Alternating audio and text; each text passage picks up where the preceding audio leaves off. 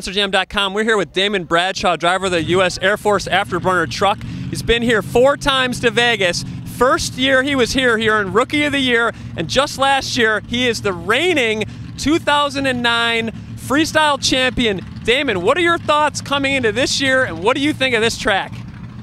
You know, so far from what I see, the uh, track is awesome. I kind of told the guys laughingly, I said, it looks like a mini supercross track. Not a mini supercross track, but an enlarged supercross track. So, uh, you know, with tabletops and double jumps and different things. So I'm really looking forward to it. Again, I think it's going to be a be a technical track. There's not a lot, not a lot of room for error. So I think, you know, landing on downsides and uh, and and timing is going to be a be a big thing for freestyle. And uh, you know, racing again, when I get down to the end and I'm looking at the whole event, I try to look at it as just another event because if you think of it as a World Finals, you know the nerves are there and the pressure is there, and I put a ton of pressure on myself anyways. So, uh, but I'm looking forward to going racing and, and freestyling.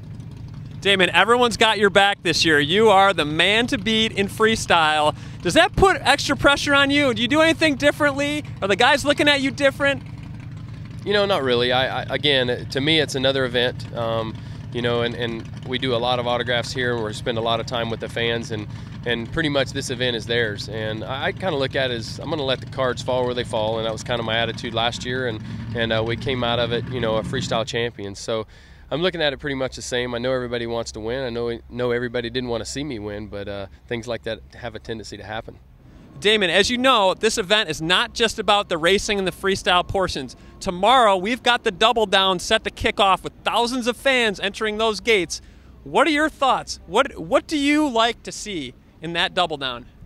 You know, it's uh, it's kind of the beginning of our weekend. You know, when the fans start coming in and we start doing autographs and we get to see a lot of smiles. You know, and I see people all over the country in different cities, whether it's a small venue or a stadium event, that say we'll see you in Vegas, and uh, it's a pretty good feeling. I know uh, here just two weeks ago we had an event in in uh, Nampa, Idaho, which is my hometown there, and so I saw a lot of people there that said, "Hey, we'll see you at the Double Down." So it'll be a good feeling to see those people again, and a lot of fans uh, this year that we haven't got to see. And again, you know, like I said earlier, this this event is is really really fan orientated because we do get to see a lot of them over the weekend. But uh, you know, my crew chief Cody Saucier has got the Air Force Afterburner dialed in, and uh, we're ready to go do some racing and freestyle for these great fans.